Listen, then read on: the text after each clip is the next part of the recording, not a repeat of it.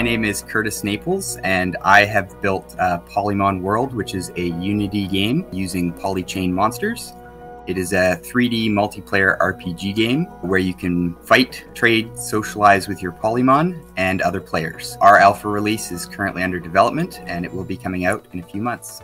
I chose to use Moralis because it had all of the tools that I needed for building a fully fledged NFT game using on chain NFTs, and it gave me access to all the data I needed, as well as real time transactions to verify ownership during gameplay. I've been building games for many years, and there there's always been many challenges, and it takes a lot of time setting up infrastructure and other things.